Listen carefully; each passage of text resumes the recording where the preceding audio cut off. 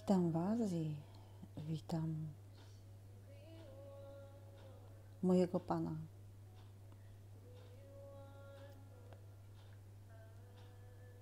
Słowami Psalmu 11. Witam ten dzień i spodziewam się w tym nowym dniu słowa z nieba. Bożego oświecenia, Bożego prowadzenia, Bożej mądrości, której potrzebuję.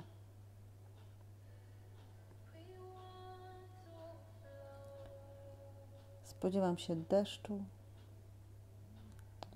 a nawet rzek wody żywej. Spodziewam się oleju namaszczenia. Spodziewam się porannej manny, spodziewam się ognia.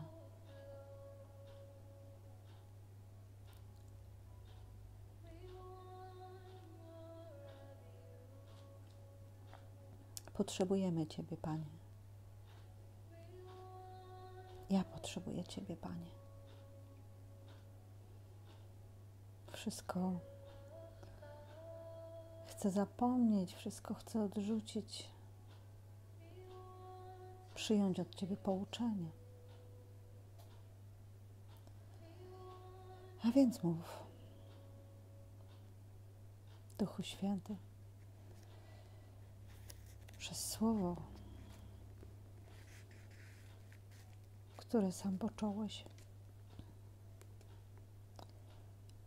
w sercach ludzi, którzy także kiedyś okazali się naczyniami, gotowymi przyjąć to Słowo dla siebie i dla innych. A psalm 11 tak się zaczyna. Dla prowadzącego chór Dawidowy.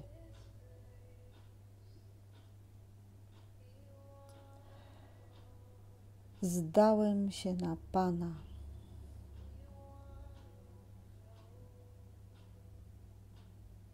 Jak mi możecie doradzać? Kryj się w górach jak ptak, bo bezbożni napieli już łuk, wycelowali strzały i czekają na zmrok, aby razić prawych. Tak oni burzą podstawy. A sprawiedliwy co uczynił?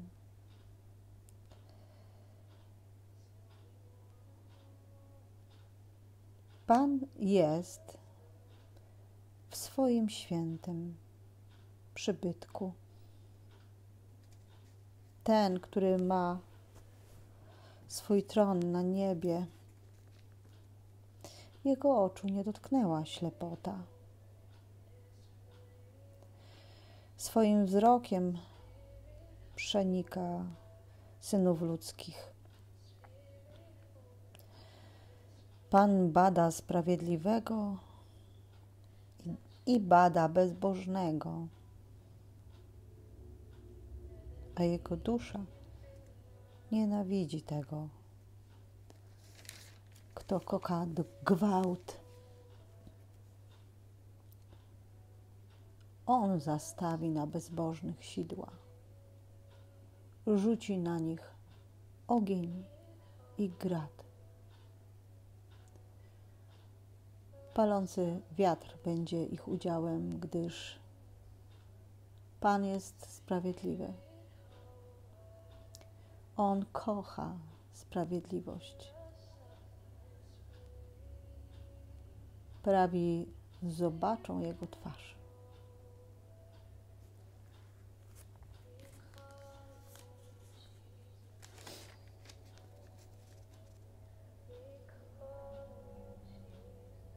Jeżeli zaufałam Bogu mojemu, jeżeli zdałam się na Pana.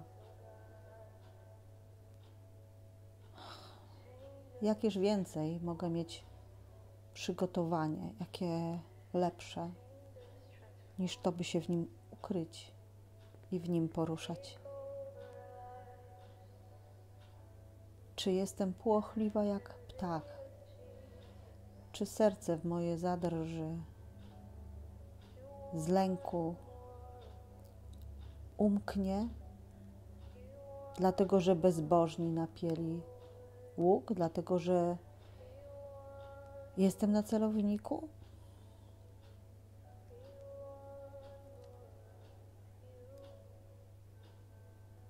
Tak, tylko że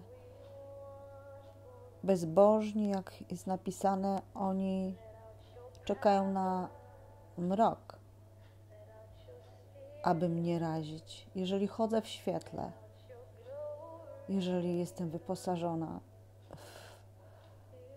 w pełną zbroję Bożą, w Bożą sprawiedliwość tarczę wiary i hełm zbawienia, jeśli przepasuję się prawdą i tak przemieniam się, i tak oczyszczam się tą prawdą i wypełniam się nią, to jestem ukryta w Chrystusie. I te strzały mnie ominą, a na pewno nie zniszczą. W trzecim wersecie jest napisane, że oni burzą podstawy. Zadbajmy o podstawy, o fundamenty, na jakich budujemy, o bazę, o substancję, z której budujemy. Niech będzie nią wiara, bo wiara jest tą bazą, fundamentem i yy, podstawą. A nie chwieje się, jeśli opiera się na nauce apostolskiej i na tym kamieniu węgielnym, którym jest Chrystus. Dalej psalmista pyta sprawiedliwy, co uczynił. Co uczynił nasz Bóg? Właśnie On dał nam ten fundament, aby nie można było strząsnąć naszymi podstawami. Jeśli nawet coś z ciała nadbudowaliśmy na fundamencie, ale na dobrym fundamencie, to nasz dom.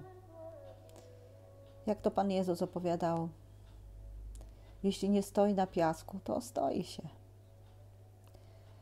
To nawet jeśli jakiś fragment, jakaś dachówka, jakiś kawałek rynny wobec burzy się e, nie oprze, jeśli coś nam zostanie odłamane, oderwane, to nadal będziemy mieć ten fundament, na którym możemy budować. A zresztą to Jezus buduje swój kościół. Dalej psalmista pisze o Bogu, Panie, Panu, który jest w swoim świętym przybytku. On nazwał nas także przybytkiem Boga na ziemi. Jego ciałem, Jego świątynią. Niech Duch Święty zamieszkuje w swoim przybytku, którym jesteśmy. Bo jednocześnie Bóg, wszechobecny Bóg, jest na tronie w niebie i na tronie w moim sercu, któremu poddaję. Niech On je wypełnia.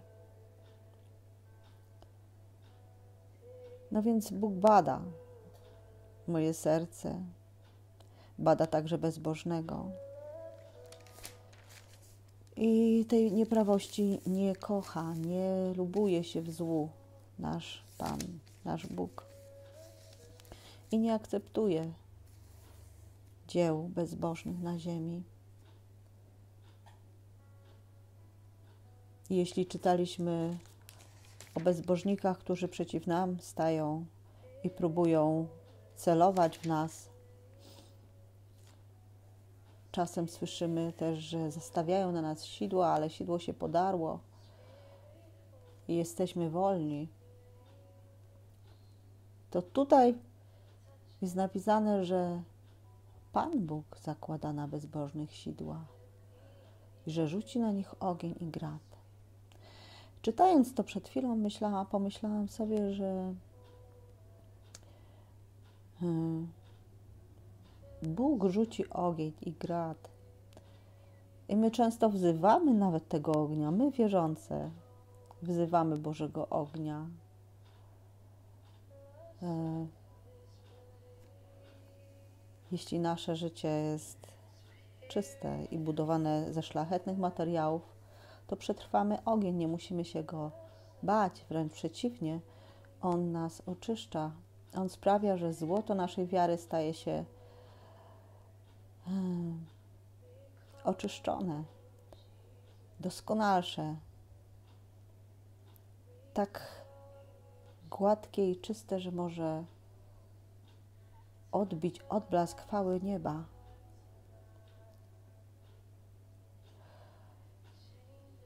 Jeżeli dla grzesznika palący wiatr jest czymś groźnym, bo grzesznik, nie mający nadziei w Bogu, nie może się ostać wobec ognia,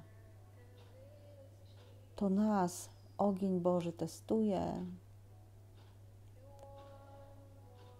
I może nas uformować, ukształtować, przetopić.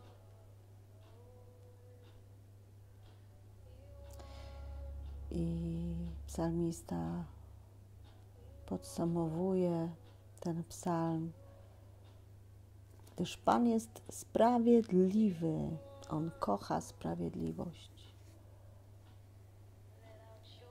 Prawi zobaczą Jego twarz.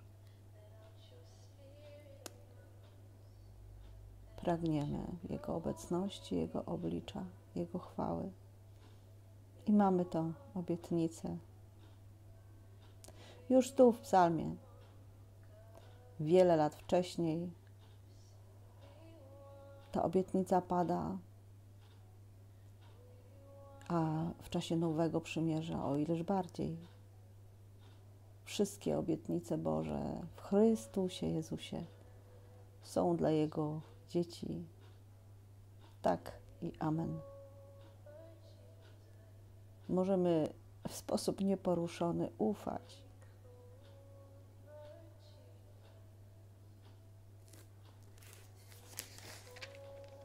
zdałam się na Pana.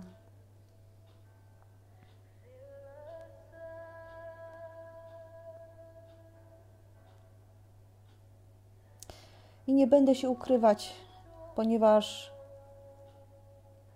raczej wyjdę na górę i będę wypatrywać Jego powrotu. Raczej będę wołać: Rzuć ogień, Panie, przyjdź. Najpierw oczyść mnie, przygotuj, wyposaż, prowadź. Przyoblecz, przygotuj swoją oblubienicę, swój kościół na spotkanie z Tobą, Panie.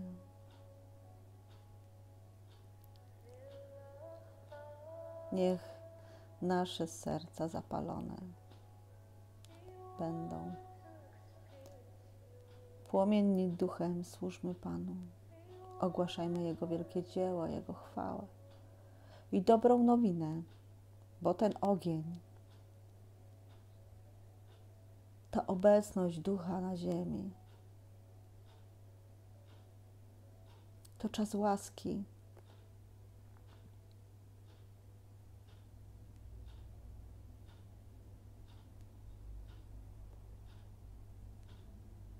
Maranata. Przyjdź, Panie Jezu.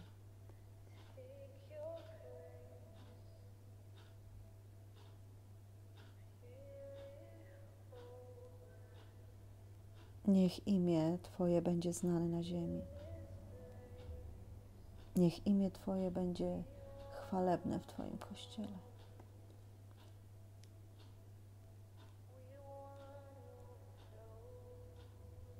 Pan bada sprawiedliwego i bada bezbożnego. Badaj nas, Panie.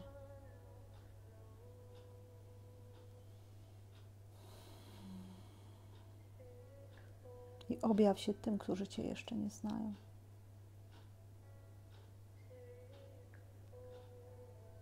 Amen.